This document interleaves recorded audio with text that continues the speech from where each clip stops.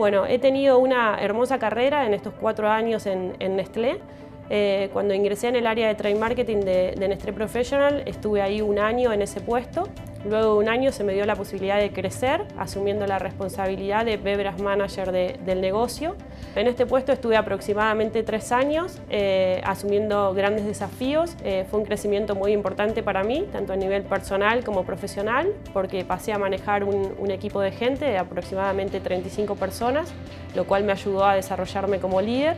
Eh, hay varias cosas que valoro de, de Nestlé y que me gustaría compartir con ustedes. Considero que Nestlé es una empresa de buena gente y lo digo porque lo siento de, verdad.